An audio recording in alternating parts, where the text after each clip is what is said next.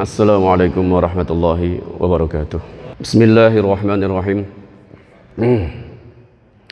نحمده ونصلي ونسلم على رسول الكريم أما بعد. وأعوذ بالله من الشيطان الرجيم. بسم الله الرحمن الرحيم.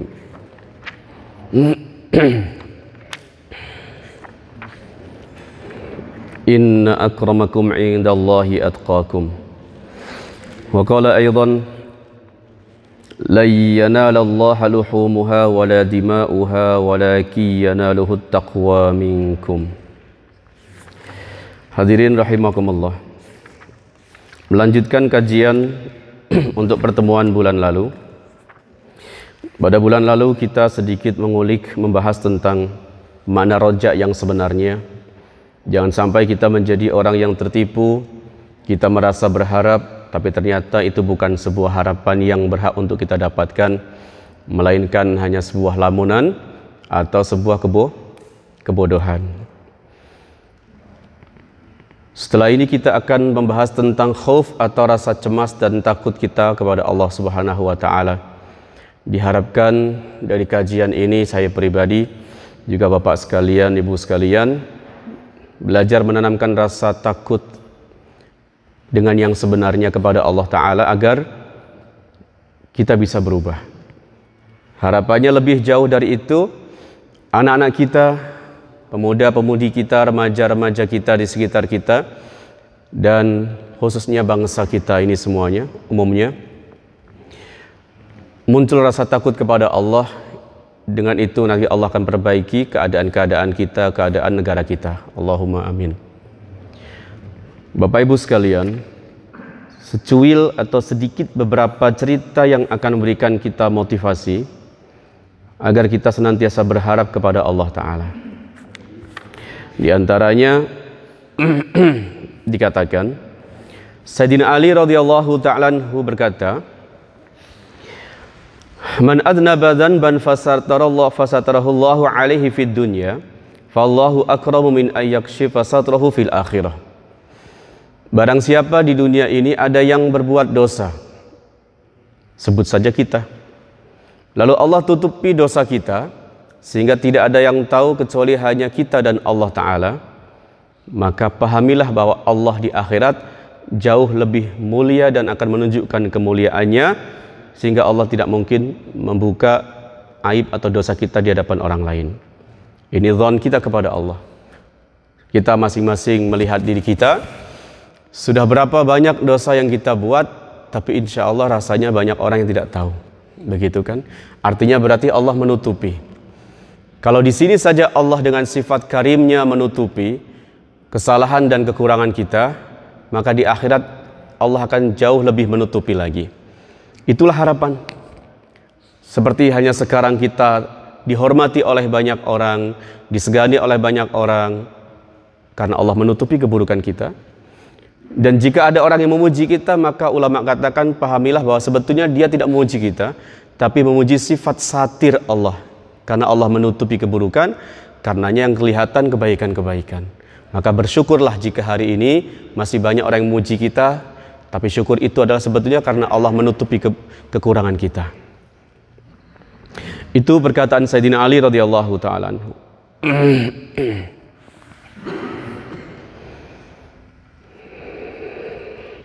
Ibrahim bin Adham rahmatullah alaih, beliau pernah katakan,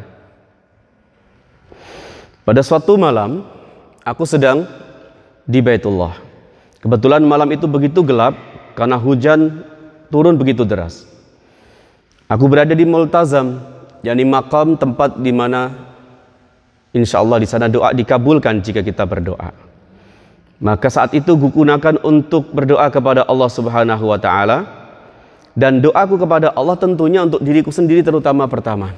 Dan aku ingat betapa pentingnya doa ini untuk kupanjatkan kepada Allah di hujan saat turun hujan ini doa makbul di tempat yang sangat makbul. Doaku kepada Allah adalah ya Robbi wahai Tuhanku jagalah aku dari dosa hingga aku tidak berbuat kemaksiatan selamanya. Ketika aku doakan beberapa kalimat ini, maka ada suara yang aku dengar yang kata-kata itu mengatakan semua orang-orang yang beriman berdoa sama seperti yang kau doakan agar aku menjaga mereka agar mereka tidak berbuat dosa. Lalu jika tidak ada yang berdosa, kepada siapa aku akan berikan ampunanku? Jika tidak ada yang berbuat kejahatan, lalu kepada siapa aku berikan anugerahku? Artinya, tetap saja ada perbuatan dosa karena itu adalah untuk menunjukkan sifat ghafur dan sifat pemaaf Allah Ta'ala kepada hambanya. Sifat anugerah Allah yang walaupun ada hamba yang selalu bermaksiat dan berdosa, Allah tunjukkan anugerahnya, lalu Allah berikan ampunan dan Allah masukkan dia ke dalam surganya. Itu kalau kita melihat kepada Allahnya. Tapi kalau kita melihat kepada diri kita, seperti yang pembahasan di bulan lalu, jangan jadikan ini sebuah alasan untuk kita banyak-banyak dosa. Karena itu namanya nanti tertipu, kita seperti berharap ampunan, tapi ternyata dibilang orang yang bodoh. Karena Rasulullah SAW mengatakan, Al-ajizu man adba'a nafsahu hawa. Orang yang bodoh adalah orang yang senantiasa mengikuti hawa nafsunya, terus berdosa dan berdosa, dan dia berkatakan Allah Maha Pemaaf. Itu namanya orang bodoh. Maka kita di sini pelajarannya dan melihatnya sisi hebatnya Allah yang Maha Karim, Maha Pemaaf. Yang karenanya Allah tunjukkan maafnya, anugerahnya kepada hamba-hambanya yang banyak berdosa di atas muka bumi. Dalam satu kisah disebutkan, ada dua orang laki-laki dari Bani Israel, kakak beradik.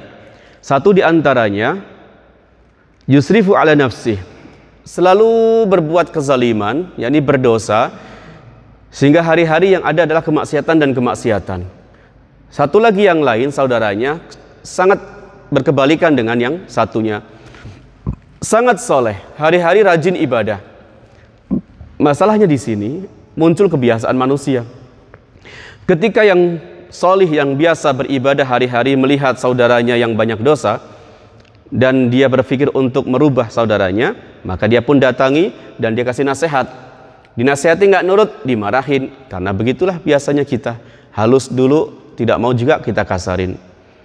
Akhirnya, yang dinasehatin dia berkata, Da'ni wa. Sudahlah nggak ngurusin, nggak usah ngurusin saya. Biarkan aku dengan Allah Tuhanku saja. Kita lihat dalam bahasanya, meskipun ini dibilang kebodohan kalau dari sisi manusianya, tapi kalau dari sisi lihat sifat Allahnya, itu dibenarkan. Karena Allah nanti yang akan menunjukkan bagaimana dia berubah karena Allah berkehendak. Da'ni wa biarkan aku dengan Tuhanku, kamu gak usah ngurusin aku. Abu Ista alayya raqiban, apa kamu ini diutus untuk menjadi pengawasku yang hari-hari harus ngelihatin apa yang kubuat lalu menasehati dan terus begitu udahlah pergi saja. Akhirnya pada suatu hari, udah saking jengkelnya, saudaranya ini lagi berbuat dosa besar. Maka dia datangi lagi dan dalam kondisi marah dia katakan, La yaghfirullahu lak. Allah tidak akan pernah ampunkan dosamu. Udah keterlaluan ini mah. Nah di sinilah yang salahnya.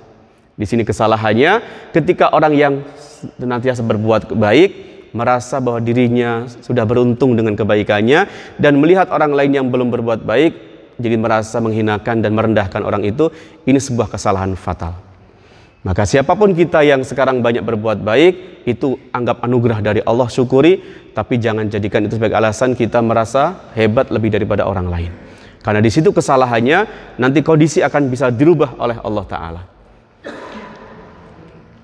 Qala Fayakulullahu ta'ala yaumal qiyamah. Maka cerita menyebutkan bahwa pada hari kiamat nanti kemudian Allah berkata kepada mereka berdua, Ayastati'u ahadun ayahdhur rahmati ala ibadi. Apa ada orang yang bisa mengharamkan ampunan dan rahmatku untuk hambaku? Itu kan hak prioritas aku. Siapa yang berhak menentukan Allah tidak akan mengampuni orang itu? Tidak ada. Maka jangan pernah sekali-kali kita mengatakan, udah tinggalkan dia dia nggak pernah akan berubah. Ini kata-kata yang salah. Karena kita tidak tahu kapan Allah akan merubah hati dia. Idhab anta faqad ghafartu Maka Allah katakan kepada yang satu lagi dengan mengatakan, "Sudah pergi kamu, kuampunkan dosamu." Karena Allah ingin menunjukkan bahwa dirinya Maha Pemaaf. Sekali lagi, kita melihatnya sisi Allahnya, itu anugerah dari Allah. Jangan lihat sisi hamba yang berdosa, lalu kita jadikan alasan mau begitu ah enak maksiat terus, Allah juga pemaaf, itu balik lagi, itu namanya kebodohan. Lalu Allah katakan lagi kepada satu lagi yang rajin ibadah wa anta faqad aujabtu lakan nar dan karena rasa di hatimu menghina ke orang lain, merendahkan orang lain, maka kuputuskan kamu masuk ke dalam neraka. Hadirin kisah-kisah semacam ini banyak dijumpai. Sehingga dikatakan seorang syekh muhaddis besar, penghafal Quran, hanya gara-gara hatinya berkata, orang kok bisa begini ya? Mereka berdosa, bermaksiat. Merasa merendahkan orang lain yang berdosa, lalu Allah tutup hatinya. 30 juznya hilang total, hadis yang dia hafalkan semuanya hilang. Hanya satu ayat yang dia ingat tentang maknanya kehinaan bagi orang yang Allah hinakan. Dan satu hadis yang dia ingat itu pun sama kurang lebih tentang kehinaan bagi orang yang Allah hinakan. Selebihnya semuanya lupa.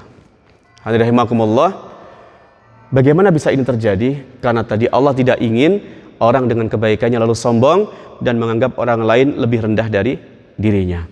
Tetapi kita tekankan dalam hal ini sekarang adalah bahwa lihatlah Allah sebegitu besar dan banyaknya dosa hambanya pun kalau Allah ingin sedang tunjukkan ghafurnya, afunya maka Allah tetap ampunkan dia. Hadirin rahimakumullah maka hari ini mari kita terus harap kepada Allah Ta'ala agar Allah ampunkan kita. Mungkin kita belum sehebat yang diinginkan belum takwa seperti yang diharuskan tapi kita terus berharap. Hadirin sebelum masuk khauf Imam Ghazali rahimahullah mengatakan rasanya di zaman sekarang ini, ini bahasanya zaman Imam Ghazali, sudah tidak baik kalau kita bicara tentang Allah pemaaf, Allah maha dan banyakin cerita-cerita tentang harapan-harapan. Karena kalau kita melihat orang zaman sekarang sedikit rasa takutnya, besar rasa harapnya kepada Allah. Nah ini sebuah penyakit. Karena yang diinginkan oleh agama dan iman adalah di mana kalau khauf di sebelah kiri, dan rasa rojak di sebelah kanan, maka harusnya yang kita inginkan adalah kita berada di tengah-tengah. Di mana harapan kita segitu, rasa takut kita segitu. Seandainya lebih cenderung ke salah satu titik, yakni keharapan kita besarkan berlebihan sampai kita akhirnya lebih sering meninggalkan kebaikan, lebih sering mengamalkan keburukan, ini penyakit. Nah, kalau kondisi begini, kalau kita sampaikan terus cerita-cerita tentang pengampunan Allah, bukannya dia sembuh, dia akan semakin miring kepada roja dan dia akan semakin banyak berbuat keburukan dan tinggalin kebaikan. Maka kata beliau, sebagai seorang penceramah, sebagai seorang guru, sebagai seorang mukmin yang berpikir ke diri dan orang lain, dia harus cerdas seperti seorang dokter yang tahu apa penyakit pasiennya dan bisa memberikan obat sesuai dengan penyakitnya, juga memberikan obat sesuai dengan dosis penyakitnya. Kalau hari ini penyakit umat zaman sekarang terlalu besar rojaknya dan kecil khaufnya, maka berarti harus dikasihnya jangan berlebihan tentang rojak, tapi harus dikasih tentang khauf yang menakut-menakutkan. Setuju nggak begitu Bapak? Setuju aja. Biar kita juga ada rasa takutnya kepada Allah. Dan Imam Ghazali katakan, jangan anggap rasa khauf dalam hati ini sebuah penyakit, tapi ini anggap sebuah anugerah. Kalau kita menemukan rasa takut dalam diri, ini sebuah kenikmatan karena tidak setiap orang merasakan kenikmatan khauf ini. Apa itu khauf? Ayo kita lihat bagaimana Imam Ghazali rahimahullah menjelaskan tentang khauf. Sekali lagi Bapak, kesempatan kita belajar tentang dunia hati, yakni manajemen kalbu, Ihya Ulumuddin, pakarnya Imam Ghazali menerangkan tentang itu. Pertama, beliau katakan, "I'lam anal khauf ibaratun an ta'allumil qalbi wa ihtiraqihi bisababi tawaqqu'i makruhin fil istiqbal. Khauf itu adalah sebuah ibarat atau sebuah ungkapan kata untuk mengatakan perasaan sakit dalam hati, perasaan merasa terbakar dalam hati karena takut terjadi sesuatu yang tidak kita inginkan di masa yang akan datang. Ini kan kebalikan daripada rojak kemarin berarti ya. Kalau di masa rojak kemarin sesuatu yang ada di hati yang sifatnya kita sukai akan datang waktunya. Itu namanya pengha pengharapan. Saya berharap tahun depan begitu kan ya? Sekarang dibalik. Kalau muncul perasaan sakit muncul perasaan seperti gundah gelisah takut itulah khauf tentang sesuatu yang akan terjadi di masa akan yang akan datang maka sebagaimana kemarin rojak dibagi tahapannya bahwa untuk mendapatkan rojak yang sebenarnya orang butuh ilmu lebih dulu lalu akan sampai kepada satu kondisi tertentu lalu akan mewujudkan sebuah amal maka dalam khauf pun begitu. Bapak, saya harus tahu dulu ilmu tentang khauf. Baru setelah kita tahu ilmu khauf, maka kita akan sampai pada satu titik atau kondisi yang akan merubah keadaan kita. Lalu akan mewujudkan amal-amal kebaikan. Apa itu ilmu tentang khauf? Kita perhatikan untuk kita hafalkan. Ilmu tentang khauf adalah suatu pengetahuan kita mengenai sebab-sebab yang akan menyebabkan kita terperosok dan masuk kepada sesuatu yang tidak kita sukai. Dan ini satu analoginya, kias dan persamaannya dengan beberapa contoh. Satu, ada contoh satu orang dia berbuat kesalahan kepada seorang raja atau pemerintahan. Karena dia salah, karena dia berbuat melanggar aturan pemerintah, dia tahu berarti kalau dia bersalah. Kalau dia tahu dia bersalah, ini artinya dia tahu bahwa dia telah mengerjakan sebab-sebab yang akan mengakibatkan kepada kehancuran bagi dirinya. Ditambah lagi, selain dia mengerjakan kesalahan dan itu merupakan penyebab kehancuran bagi dirinya, dia juga tahu kalau sekarang dia jatuh dalam perangkap atau jatuh dalam tangkapan seorang raja yang dia tahu dia zalim. Ini raja punya sifat kejam, dia diktator, dia bisa membunuh kapan saja siapa saja kalau dia tidak suka. Berarti ada lagi penyebab lain. Satu sebabnya dia merasa bersalah, takut. Yang kedua, rajanya pun raja yang zalim, ditambah lagi dia tahu bahwa orang-orang yang di sekitar raja, orang-orang pemerintahan zaman itu termasuk orang-orang yang memang pendendam, orang-orang yang tidak suka dengan model orang-orang kayak begini, maka jika dia tertangkap, maka dia muncul rasa takut yang dahsyat luar biasa karena banyak sebab yang akan menghancurkan dirinya. Satu, dia salah. Dua, raja bukan tipe pemaaf. Kemudian orang-orang di sekitarnya juga termasuk orang-orang yang senantiasa mendukung. Keempat, tidak ada alasan, tidak ada orang-orang yang bisa memberikan syafaat, memberikan motivasi kepada raja atau pengampunan kepada permintaan maaf kepada raja agar mengampunkan orang ini. Kalau begitu begitu banyak sebab yang akan menghancurkan dirinya. Ini namanya ilmu. Kalau dia tahu, maka karena tahunya itulah maka muncul rasa takut kepada pemerintah saat itu atau kepada raja itu. Bisa dimengerti Bapak? Kalau kita begini kondisinya kepada Allah Ta'ala, maka ini artinya khauf yang sebenarnya. Berarti tahu dulu apa penyebab-penyebab yang akan memunculkan rasa khauf. Yang kedua, kadang-kadang rasa takut itu munculnya bukan karena dia punya salah, bukan karena dia berdosa, tapi memang benda atau orang yang ditakutinya jenisnya adalah dari sesuatu yang memang menakutkan. Contohnya ada orang dia dalam cengkraman seekor harimau. Dia nggak bersalah, begitu kan? Tapi sekarang dia dicengkram oleh seekor harimau dan harimau adalah termasuk hewan yang buas. Buas artinya kalau dia mau dia bisa makan, bisa cabik-cabik, matiin orang itu. Kalau dia mau dia bisa tinggalkan. Tapi perasaan takut itu kemudian muncul, takutnya kalau saya nanti dimakan, dicabik-cabik, habislah saya. Itu kenapa muncul rasa takut? Bukan karena dia bersalah, tapi dia tahu sebab-sebab yang bisa membuat dirinya hancur, yakni dia sekarang dalam cengkraman seekor harimau. Meskipun kita katakan cengkraman, kemudian gigitan yang dilakukan oleh seekor harimau atau singa ini adalah sifatnya ikhtiari. Ikhtiari artinya berarti kalau dia mau, kan begitu. Kadang-kadang kita lihat juga ada harimau nggak mau makan, kan begitu ya. Hanya dibuat mainan saja itu ikhtiari namanya. Berarti kalau mau dia akan gigit, kalau tidak tinggalkan.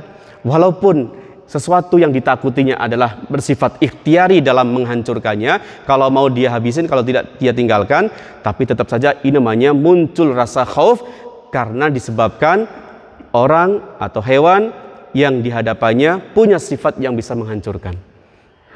Ketiga, ada pula rasa takut itu muncul karena benda atau sesuatu yang ditakutinya memang bersifat alami bisa membunuh dan menghancurkan. Dia tidak bersalah dan benda atau sesuatu yang ditakutinya dia pun nggak punya ikhtiar untuk membunuh dia, nggak punya ikhtiar. Tapi kenapa dia takuti? Karena tabiat asli benda itu secara alami watak benda itu atau sesuatu itu memang mematikan dan membunuh. Apa itu contohnya? Banjir dan api yang membakar. Dia tidak berdosa, dia tidak bersalah, tapi dia masuk ke dalam kobaran api, dia masuk ke banjir dan tersapu dan terseret, muncul kan rasa takut.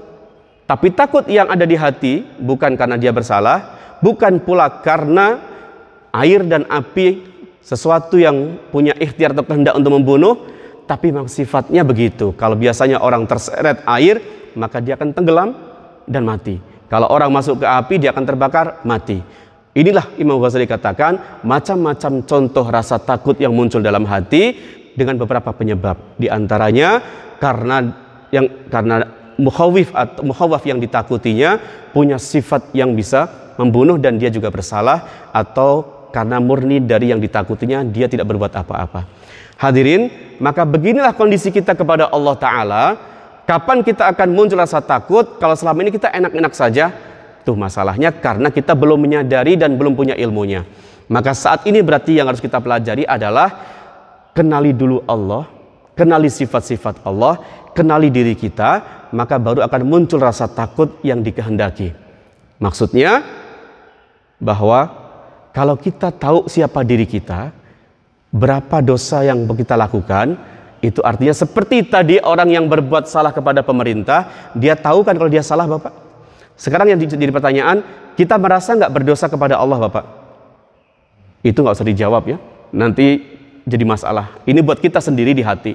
Kita merasa nggak kita berdosa kepada Allah? Kalau kita bilang enggak, makanya kita nggak ada takut kepada Allah. Kalau orang tidak merasa bersalah kepada pemerintah, ya dia nggak takut orang merasa nggak bersalah, begitu kan ya? Walaupun misalkan pemerintahnya adalah orang yang zalim, rezimnya rezim yang otoriter, tapi kan dia tidak bersalah, jadi nggak ada muncul rasa takut. Nah, sekarang masalah penyakit kita hari ini adalah karena kita tidak tahu siapa diri kita, tidak merasa kita bersalah kepada Allah, raja dari semua raja, maka tidak muncul rasa takut dalam hati kita kepada Allah.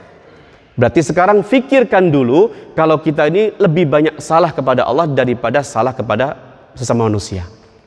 Kalau dihitung dari saat kita lahir sampai sekarang, itu jujur. Nah, ini untuk memunculkan ini dulu kesadaran ini butuh waktu dan butuh konsentrasi, kesendirian dan kita tadabur bahwa selama ini memang banyak yang kita lakukan bersifat dosa kepada Allah Ta'ala. Kedua, setelah kita sedari bahwa diri kita seperti itu, lalu kita kembali kepada Allah, kenali Allah sebagai Tuhan kita, siapa dia? Dia adalah zat yang kohar, dia adalah zat yang jalal. Apa itu kohar dan jalal? Adalah zat yang dengan sifat kohar dan jalalnya, kalau Allah lagi mau, dia akan tunjukkan murka dan marahnya. Sudah, sekali Allah ingin, dunia bisa dihancurkan Gak usah dunia nanti hari kiamat akan tiba. Saat ini sudah Allah tunjukkan. Kalau Allah lagi marah, satu kota habis. Begitu kan? Cukup satu saja yang Allah hantar lewat angin habis semuanya. Lewat zalzalah gempa bumi habis semuanya. Lewat air banjir bandang habis semuanya. Itu baru satu pasukan Allah. Bagaimana kalau Allah turunkan semua pasuk-pasukannya? Air Allah hantar, api yang membakar Allah hantar, angin yang mematikan Allah hantar. Manusia gak bisa buat apa pun. Kalau kita kenal Allah bahwa dia punya sifat yang begitu, maka kita akan muncul rasa takut. Sudah kita bersalah berdosa kepada Allah, Allah juga punya sifat marah, Allah juga punya sifat kohar dan sifat jalal, maka bagaimana kita nggak takut kepada Allah? Maka berarti kapasitas ini yang membuat kita nanti besar dan tidaknya amal kepada Allah. Semakin besar kita kenal diri kita, semakin besar kita kenal sifat Allah yang bisa marah dan bisa murka, maka semakin kita takut kepada Allah. Semakin kecil rasa takut itu, semakin kecil pula nanti amal kita kepada Allah Ta'ala. Maka Imam Ghazali benar mengatakan, kenapa banyak kemaksiatan dan dosa dilakukan oleh hari ini orang-orang Islam, orang yang beriman, karena rasa takutnya kecil, rasa harapnya be lebih besar. Maka mari kita bicarakan tentang rasa takut di masyarakat agar mereka sembuh dari penyakitnya. Sehingga dia berada di tengah-tengah, harapannya ada, takutnya juga ada. Kemudian beliau katakan, fal ilmu bil asbabil makruh wa sabab al ba'is al musir li ihraqil qalbi. Ketika dia tahu tentang sebab-sebab yang akan menghancurkan dirinya, yakni dia berdosa, atau lihat Allah sifatnya begitu yang kalau Allah lagi tunjukkan marahnya maka Allah akan hancurkan jangankan dia satu manusia alam semesta pun Allah ghaniyun anil alamin tidak butuh Allah akan hancurkan fakadzalikal khauf minallahi taala li ihrakil qalbi wa ta'lumihi wa dzalikal ihraq wal khauf maka Bapak rahimakumullah ini yang kita pahami beliau katakan perasaan sakit di hati tadi ketika Bapak merasa dicengkram seekor harimau? Takut kan? Ditangkap oleh pemerintah dan Bapak bisa digantung kapan saja. Dan Bapak ke bawah banjir hanyut, perasaan takut, perasaan sakit di hati itu itu disebut khauf kalau itu dinisbatkan kepada Allah taala. Bayangin dulu kita ke bawah banjir, bayangin dulu kita dalam cengkraman seekor singa, bayangin dulu kita ditangkap oleh pemerintah yang zalim, kemudian kita takut dan takut mati, itulah yang disebut dengan khauf kalau itu takutnya kepada Allah Subhanahu wa taala. Taratan yakunu li ma'rifatillah wa ma'rifati sifatih dan itu rasa takut kadang-kadang munculnya karena kita kenal Allah dan kenal sifat-sifat Allah. Wa annahu law ahlakal alabina lam yubali wa lam yamna'hu maniun dan kita tahu kalau Allah sedang murka maka Allah akan hancurkan alam semesta dan Allah tidak akan peduli dan tidak akan ada yang bisa menghalangi Allah taala wa taratan yakun likasratil jinayah dan rasa takut itu muncul kadang-kadang karena dia tahu bahwa dia berdosa dan bersalah kepada Allah. Wa taratan yakun bihima jami'an dan kadang-kadang rasa takut itu muncul karena dua-duanya. Dia bersalah dan dia kenal Allah Subhanahu wa taala. Pernah ada kisah begitu? Apa kita pernah sampai pada posisi itu Bapak? Yang saking takutnya dengan dosa kita, saking kenalnya kita kepada Allah begitu menyebabkan kita akhirnya bersimpuh di hadapan Allah dan menangis lalu bertaubat. Tah kalau belum pernah ada artinya berarti ini yang perlu kita pelajari sekarang. Kita pelajari sekarang bagaimana detik-detik usia akhir kita ini kita sekali paling tidak punya perasaan seperti itu dan kemudian kita takut kepada Allah dan menangis. Nanti di bawah ada penjelasan, apa cukup hanya dengan menangis? Tidak. Nanti ada penjelasan di bawah. Terus wa bihasbi ma'rifatihi bi uyubi nafsihi wa ma'rifatihi bi jalalillahi ta'ala wa istighnaihi wa annahu la yus'alu amma yaf'alu wa hum yus'alun. Apalagi dikatakan dalam sebuah ayat bahwa Allah tidak akan pernah ditanya mengenai apa yang Allah lakukan, tapi kitalah yang akan ditanya kenapa kita berbuat maka ini yang menjadi penyebab lagi kita semakin takut kepada Allah. Bagi Allah, matiin nggak ada masalah, nggak ada yang bertanya, nggak bisa menyangkal. Bagi Allah, maafkan tidak bisa menyangkal. Tapi kalau kita berbuat yang salah, itu yang akan dipertanyakan oleh Allah Taala di akhirat nanti. Fatakunu quwwatu khaufihi fa akhwafun nas li rabbi a'rafum bi nafsi wa bi rabbi. Maka Imam Ghazali katakan bahwa kalau begitu kita sampaikan, orang yang paling takut kepada Allah di antara manusia adalah orang yang paling mengenal dirinya dan orang yang paling mengenal Allah Tuhannya. Begitu saja. Kalau kita melihat di sekitar kita, ada tetangga atau kawan kita, begitu, wah, ibadahnya bagus banget. Dia bisa menjaga hari-harinya. Artinya berarti mungkin dia kenal, dia sadar dirinya. Jadi yang dilihat bukan kebaikan-kebaikannya oleh dia, tapi yang dilihat kekurangan-kekurangan dirinya. Dan dia melihat Allah yang punya sifat-sifat yang menakutkan. Fatakunu kuwatu khawfihi fa'ahafuna si rabbihi a'rafum binafsi wa bi Walidzalika qala. Karena itulah Rasulullah sallallahu alaihi wasallam mengatakan, "Ana akhwafukum lillah." Aku adalah orang yang paling takut kepada Allah di antara kalian. Kenapa? Karena Rasul paling kenal Allah dan Rasul paling kenal dengan dirinya. Makanya dalam kesempatan ketika Rasul melihat orang-orang tertawa, Rasul katakan seandainya kalian melihat apa yang kulihat, niscaya kalian akan sedikit tertawa. Wa kadzalika qala Allah Ta'ala innama yakhsyallaha min ibadihil ulama dan begitu pula Allah katakan dalam Al-Qur'an bahwa hanya saja yang takut kepada Allah adalah para alim ulama atau orang-orang yang berilmu. Yang dimaksud bisa jadi orang yang berilmu adalah orang yang kenal Allah dan sifatnya Orang yang kenal siapa dirinya, maka dia akan paling takut kepada Allah Subhanahu wa taala. Suma idza kamulat al-ma'rifah aurasat jalal al-khauf wa ihtiraqal qalbi. Di sini mulai pelajaran lanjutannya, ketika sudah ada rasa takut muncul dalam hatinya karena dia kenal dirinya dan kenal Allah Tuhannya atau karena dia tahu kalau Allah sudah buat keputusan maka tidak akan bisa merubah, maka muncul dari situ yang akan dia rasakan adalah rasa terbakar dalam hati. Rasa terbakar dalam hati ini tidak pernah kita lihat zaman sekarang Bapak ya. Tapi di zaman dulu sering kali didapati di mana kita berdiri di sebelah seseorang maka tercium bau gosong dari mulutnya, dari tubuhnya. Itu yang, tergo yang terbakar apanya? Hatinya. Bisa terbakar. Dan begitu puncak rasa takutnya kepada Allah, dia bisa langsung jatuh, pingsan dan mati. Itu kisah yang begitu banyak. Sumayufidu asarul hirqati minal qalbi alal badan. Nah, di sini ketika hati dia sudah terbakar dengan rasa takut dan sakit hati, galau hati sudah dia rasakan, maka akan merambat kepada satu, badan dia akan terkena imbasnya, dua, anggota badan dia akan terkena imbasnya dan sifat-sifatnya pun akan terkena imbas dari rasa takut itu. Ini yang akan kita cek di diri kita. Amma fil badan, rasa takut nanti akan memberi pengaruh ke badan yakni ke fisik apa sih ngaruhnya kepada fisik? Kita akan lihat.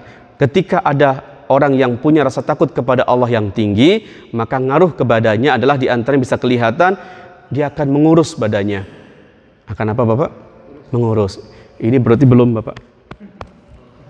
Masih gendut kan ya? Kalau ada yang kurus, berarti jangan-jangan memang karena takut Allah jadi akhirnya dia tidak banyak mikir makan, tidak banyak mikir minum, tidak banyak mikir istirahat, kuruslah dia. Ada yang kurus, Bapak? Satu, pengaruh ke badan, ke fisik adalah itu akan membuat dia kurus. Kedua, wasufar akan ada nampak pucat pada wajahnya. Bagaimana dia nggak pucat? Orang yang takut berlebihan itu kan pasti pucat wajahnya ya. Ada yang pucat atau ada banyakkan berseri-seri di sini? lebih banyak berseri-seri karena lebih banyak harapan daripada ketakutan. Yang kedua, wal.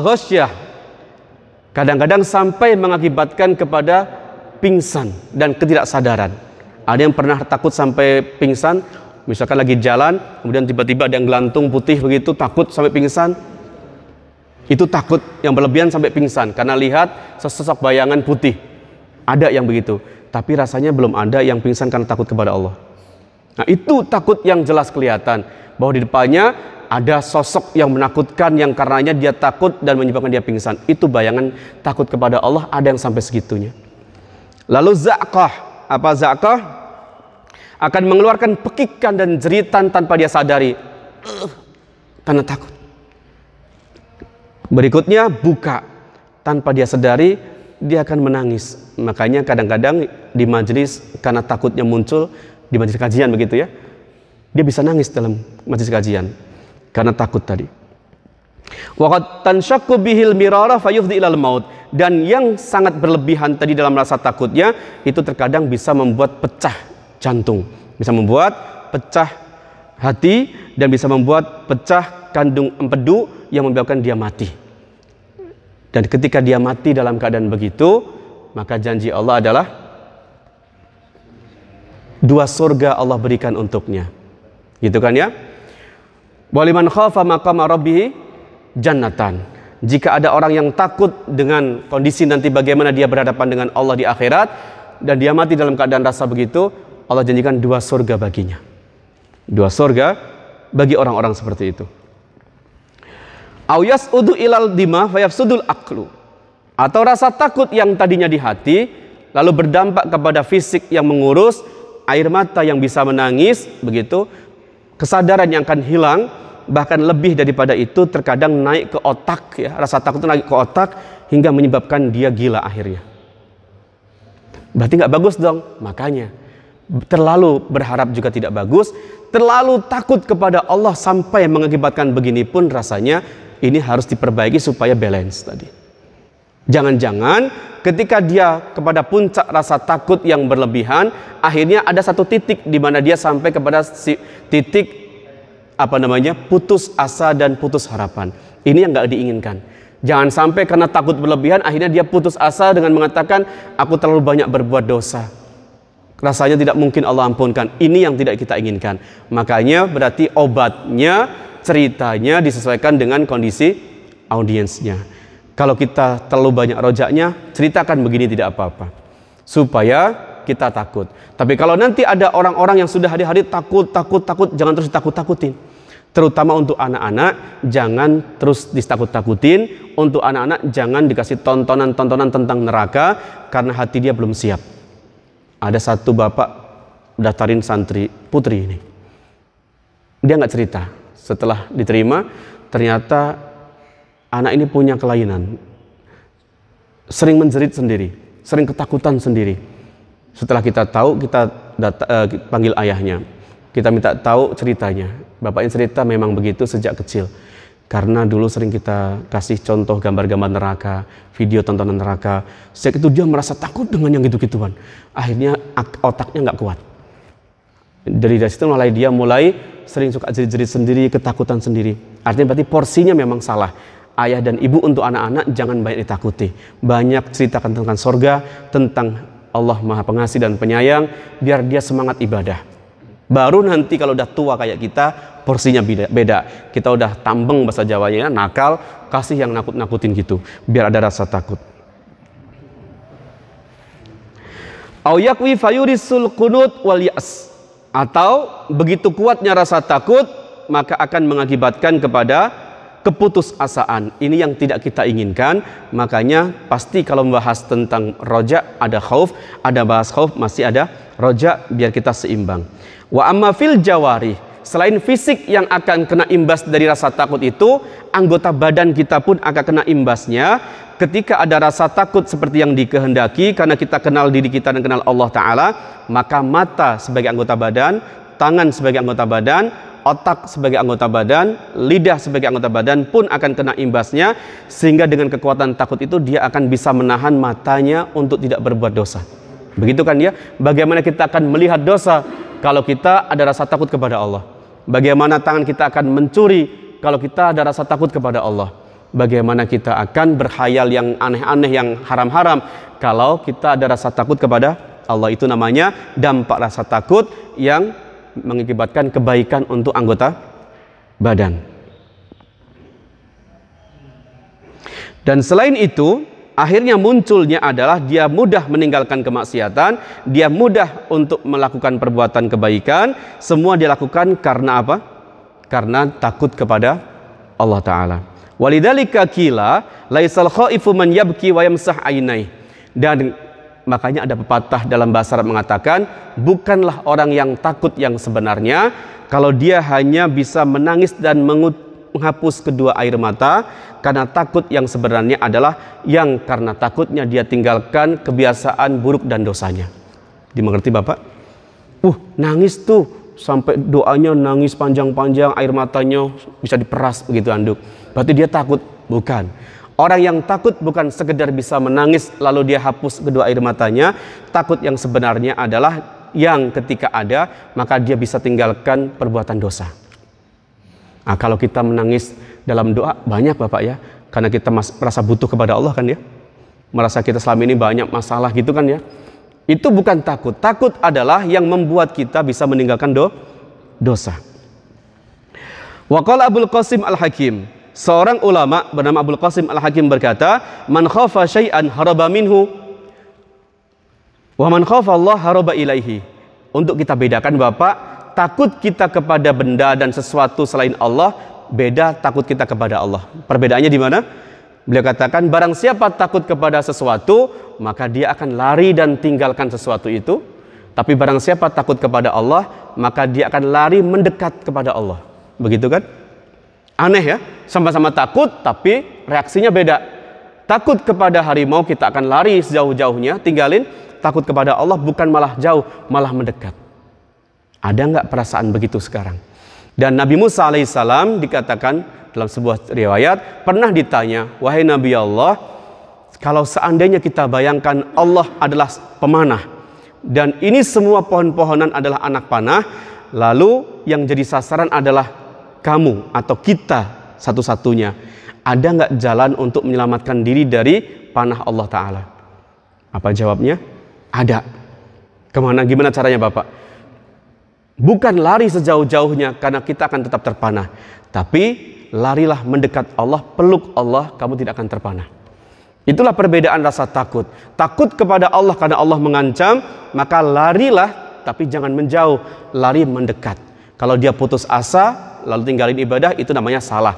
Takutnya kepada Allah tidak begitu contohnya, tidak begitu prakteknya. Takut kepada Allah justru semakin mendekat dan peluk Allah ini bahasa manusianya peluk Allah artinya dekati Allah karena ketika, ketika didekati maka Allah akan memberikan ampunan ampunannya. Ditanyakan, dikatakan kepada Dinun al-Misri rahimahullah, kapankah seorang hamba Allah dia bisa takut kepada Allah Ta'ala?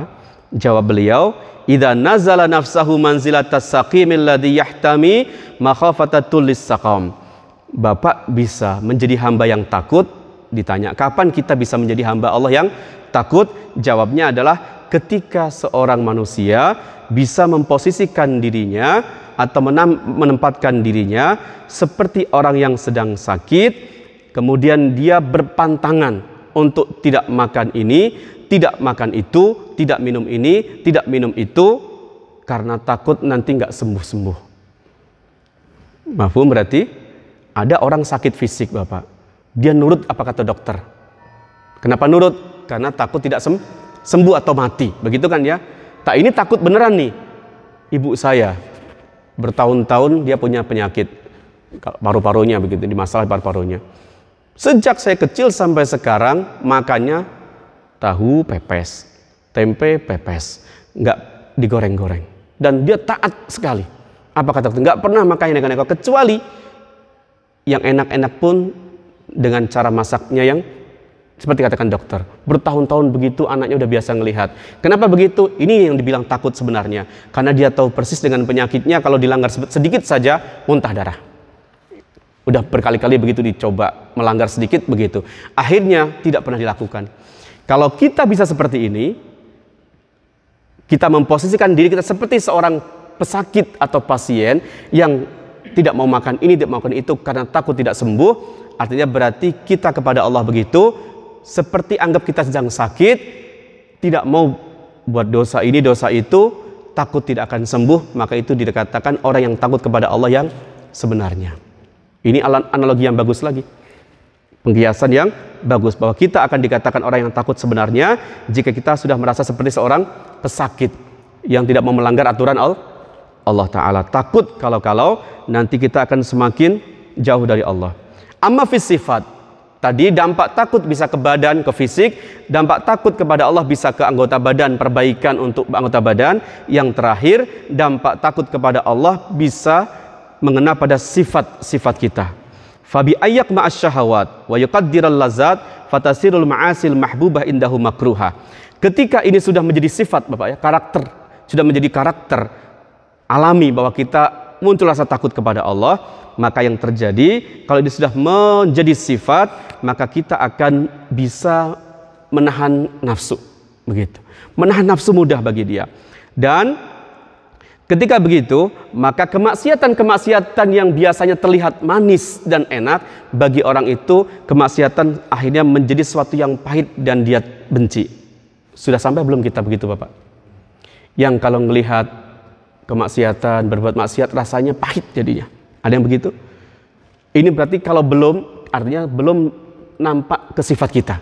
Rasa khauf belum jadi sifat. Kalau sudah, maka dulu yang kita lihat begini enak, begitu enak, begini enak, semuanya kemaksiatan. Sekarang kita melihat rasanya benci dan kita pahit rasanya. Itu baru masuk kepada pengaruh kepada sifat. Kama yasirul asalu makruhan inda yastahihi idza arafa annafi samman. Contohnya adalah sama seperti orang yang biasa suka madu karena manis, karena lezat, karena enak kalau dimakan, tapi sekarang dia tidak mau makan madu itu, minum madu itu karena tahu di madu itu ada racun. Akhirnya walaupun dulu suka karena dia tahu itu manis menyenangkan, sekarang tidak mau. Kenapa? Karena madu itu mengandung racun. Kalau bapak kita sudah berpikir begitu, ini ninggalin sholat manis rasanya, nyaman, nggak perlu sholat panjang-panjang, repot-repot amat lagi subuh-subuh harus bangun kan begitu. Nggak perlu zakat, kita punya miliaran, zakatnya berarti ratusan juta nih, gitu kan gitu. Aduh, rasanya gimana ngeluarin ratusan juta? Begitu kan ya? Ini yang dulu terasa kemaksiatan terasa manis, maka sekarang kalau ditinggalkan kalau dikerjakan terasa apa? Pahit. Itu namanya berarti khauf sudah menjadi karakter dia, menjadi sifat dia. Fatahtariku syahawat bil khauf wa jawari yang akhirnya rentetannya berarti artinya dimulai dari dia bisa menahan syahwatnya, menahan nafsunya, lalu muncul lagi lebih daripada itu anggota badan dia lebih terlatih lagi untuk berbuat baik dan terlatih untuk meninggalkan keburukan. Dan lebih dari itu lagi sudah jadi sifat yang akhirnya kebaikan-kebaikan terasa enak bagi dia, keburukan terasa pahit bagi bagi dia. Wa yahsulu fil qalbi adzubul wal khusyuk wadzila wal istiqanah. Lebih daripada itu Bapak nanti kalau sudah khauf khaufnya sudah sampai ke sana tingkatannya, Bapak akan merasa enak, lezat beribadah. Salat rasanya nyaman, begitu ya. Sahabi begitu, walaupun kena panah, darah mengalir karena lezat salatnya nggak batal. Tapi kita nyamuk digigit-gigit rasanya imamnya bacanya kok panjang banget gak selesai-selesai. Gara-gara nyamuk sedikit kan begitu. Inilah bedanya. Wa yufarikuhul kibru wal hikdu wal hasad. Dan lanjutannya sifat dengki, sifat iri, sifat pendendam, sifat pemarah itu pun dengan sendirinya akan hilang dari dia. Karena dia melihatnya kekurangan diri, tidak melihat kekurangan orang lain. Yang dilihat kebaikan orang, kekurangan diri sendiri sendiri bal yasiru musta'ibal hambi khaufihi wa nadri fi khatri akibati fala yatafarraq li bahkan dia nggak punya waktu nggak punya kesempatan nggak pernah berpikir untuk melihat orang lain yang terjadi kenapa masih ribut gelut terus kan karena ngelihatnya orang lain kan Mbak ya setan khaufnya belum berarti kalau kita nggak melihat orang lain maka kita lihat diri kita sendiri yang ada makanya kalau dalam sinetron kenapa dia dizolimi terus ya Ya, kenapa orang baik selalu dizolimi kan begitu ya? Karena dia nggak pernah berpikir menzolimi orang lain. Makanya dia dizolimi. Kalau dia berpikirnya terus ke orang lain, dia akan zolim ke orang lain terus begitu. Nah, munculkan sekarang dalam musyawarah harian masjid, dalam musyawarah mingguan masjid, lihatlah kekurangan diri, jangan lihat kekurangan lain. Itu adalah dari rasa khauf kita kepada Allah tentunya. Semakin tipis dan kecil khauf kita kepada Allah, semakin besar kemungkinan kita hasad, dengki, dendam ke orang lain. Untuk perbaikan diri kita masing-masing. Walayakun ilal muraqabah karena ketika dia sudah rasa takutnya jadi karakter, maka yang ada kesibukan bagi dia adalah sibuk dengan ibadah dia sendiri. Kalau saya aduh belum selesai nih baca Quran hari ini, sibuk dengan Qurannya, sholat sunnahnya belum dikerjakan nih, sibuk dengan sunnahnya, nggak ada waktu kesempatan untuk mikirin orang orang lain. Wayakunu haluhu halaman waku afi makhali bisab indor Nah, kondisi dia seperti itu nanti persis seperti kondisi orang yang sekarang sudah diterkam oleh seekor singa. Apa dia masih kepikiran untuk mikir orang lain? Tidak kan? Yang dia pikirkan bagaimana aku selamat.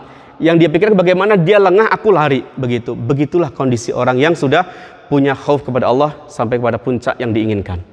Dia pikirkan keselamatan di dirinya. Makanya kalau dikatakan kamu harusnya nggak begitu disalahin dia nerima disalahin tapi kalau yang tidak ada rasa itu disalahin nggak mau. Gitu kan biasanya. Emang kenapa saya? Kamu juga sama. Begitu bisa kita lihat kondisi hari-hari kita di adegan antagonis begitu biasanya. Dia yang salah, diomongin tetap lebih lebih marah lagi. Karena memang dia sibuk dengan orang lain, nggak sibuk dengan dirinya. Hada halu man ghalabahul khauf wastawla alaihi wa hada kana halu jama'at min sahabat tabi'in. Kemudian di akhir beliau katakan, begitu rata-rata kondisi sahabat dan tabi'in zaman dulu sudah mereka sibuk dengan diri mereka sendiri, tidak sibuk mikirin orang orang lain. Wa quwwatul muraqabah wal muhasabah al muhajahada bihasbi quwwatil khauf alladhi huwa ta'alumul qalbi wal ihtiraq wa ihtiraquhu. Dan kekuatan muraqabah dia, muhasabah dia, mujahadah dia akan terus naik sesuai dengan naiknya rasa takut dia kepada Allah Ta'ala. Wa kuatul khawf bihasbi kuatil ma'rifat bijalillah wa sifatihi wa af'alihi wa bi uyubin nafsi wa ma baina yadayhi minal akhtar wal ahwal wa aqallu darajatil khawf mimma yadhar asaru fil a'mal ayam anil mahdurat. Sekarang penutup Bapak dikatakan Ghazali bahwa ketika rasa khauf muncul maka pertama kali dampak atau asar yang akan terlihat pada amal adalah satu dengan khauf itu dia akan tinggalin yang haram satu itu levelnya kalau dia sudah bisa meninggalkan yang haram, itu berarti ada khauf yang sudah dia dapatkan. Kedua, wa yusammal kaful hasil anil mahdurat war'an. Nah, kalau ada rasa khauf yang bisa membuat dia kuat untuk tidak makan yang haram, tidak berbuat yang haram, itu namanya sifat wara. Kita sering dengar kata wara, ih orangnya wara banget, hati-hati. Itu berarti baru khauf level pertama. Khauf level pertama hanya baru membuat orang punya kekuatan untuk meninggalkan yang haram. Kalau dia masih makan yang haram-haram, kerja yang haram-haram, artinya berarti masih level belum masuk khauf sama sekali yang dikehendaki. Yang kedua, ketika khauf muncul dan lebih tinggi dari warok tadi adalah maka dia akan Amma la yatayaqqan tahrimuhu. Jangankan yang haram, yang belum yakin haramnya tapi meragukan pun dia akan tinggalkan. Ini haram nggak? Belum jelas haramnya tapi kayaknya jangan-jangan begitu kan ya? Jangan-jangan haram. Itu pun dia tinggalkan. Itu pun ditinggalkan. Ini yang disebut dengan takwa, Bapak. Takwa itu di jalur tengah, di pinggir namanya fatwa. Begitu kan ya? Boleh nggak ini? Boleh, silahkan. Tapi sebaiknya jangan. Nah, menghindari itu yang boleh tadi, karena nanti takut keluar batas, kita di tengah namanya takwa. Berarti dari sifat warok hati-hati, naik ke sifat berikutnya adalah sifat tak, sifat takwa.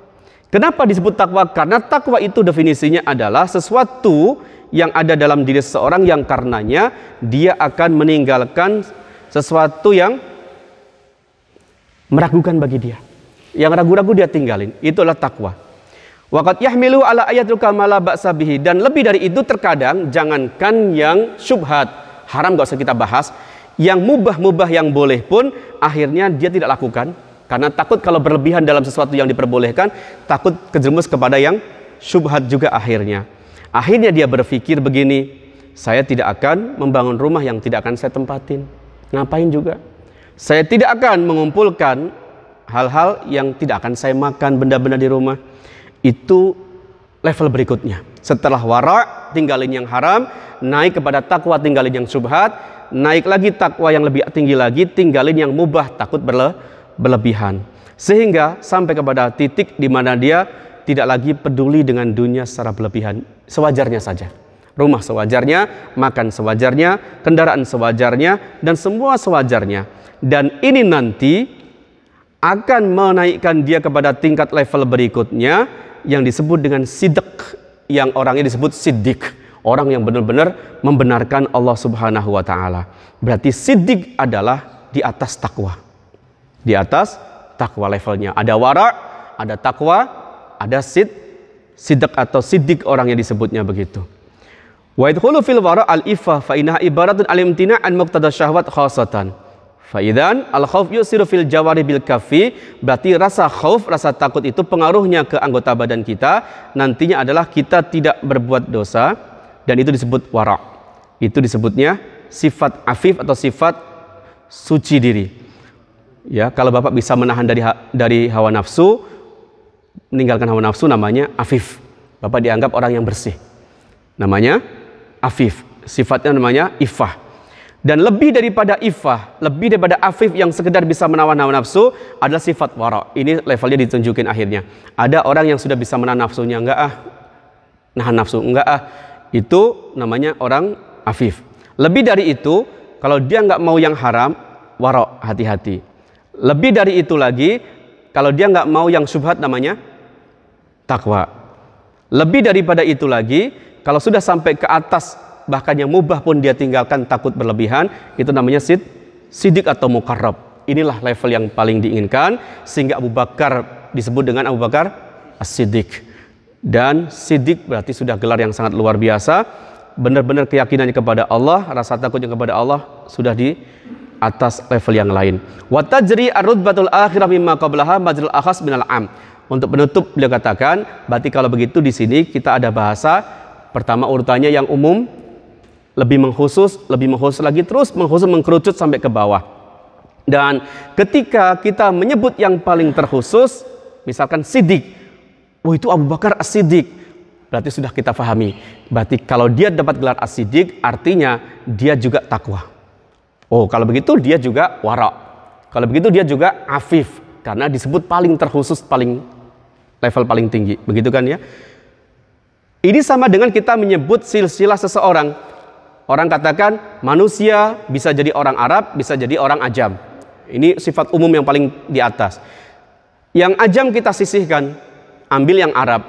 Dari orang Arab, ini bisa jadi Quraisy atau selain Quraisy. Yang selain Quraisy kita sisihkan, kita ambil Quraisy. Dari orang-orang Quraisy, ini ada yang Bani Hashim, ada yang Bani yang lain selain Hashim. Yang selain Hashim kita sisihkan. Dari Bani Hashim ada yang Bani Alawi, ada yang selain Bani Alawi. Kalau para habaib biasanya apal banget silsilah begitu.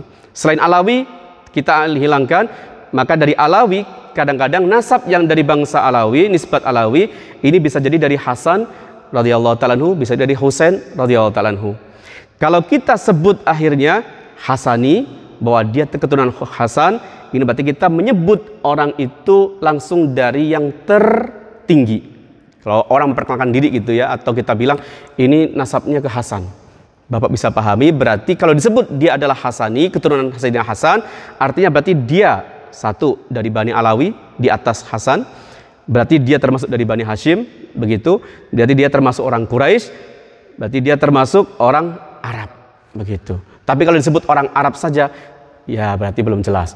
Ada yang Arab rapatik genah, gitu ya. Arab tapi rapatik genah, apa rapatik genah? Nggak begitu jelas.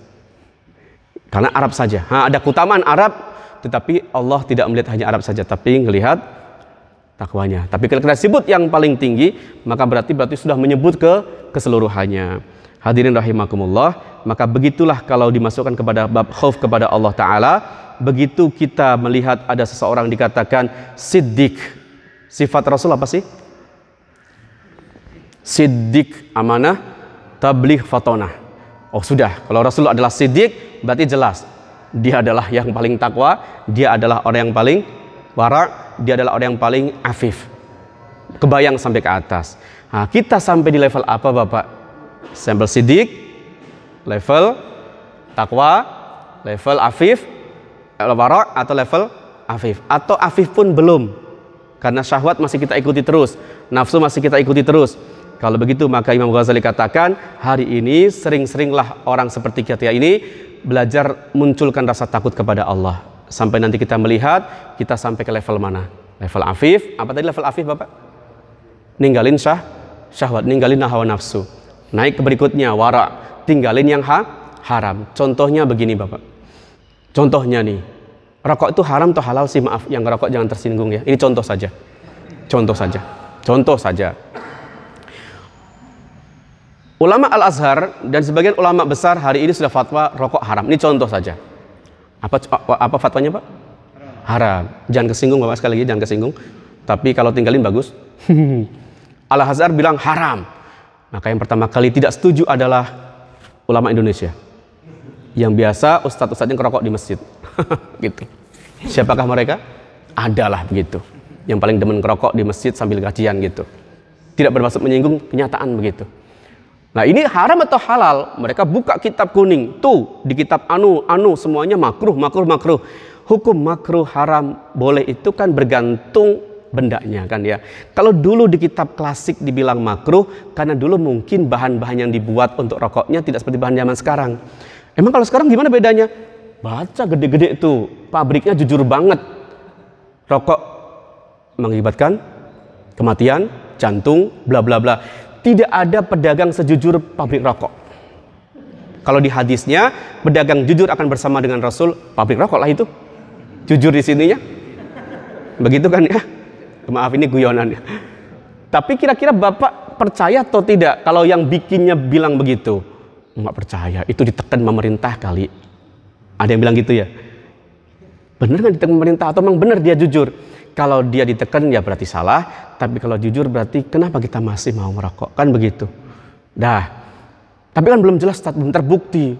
Ternyata saya merokok seumur hidup sehat-sehat saja, kan begitu. Nah, di sini bahasanya tadi. Takwa akan meninggalkan sesuatu yang belum jelas. Apalagi sudah ada yang bilang haram. Apalagi yang sudah bilang membunuhmu. Maka dengan takwa Bapak akan tinggalkan rokok. Begitu. Makanya datang seorang sahabi, lapor ya Rasulullah, aku baru saja menikah. Tiba-tiba ada seorang wanita bilang, kamu dan istrimu dulu pernah kususuin, kalian saudara sesusu.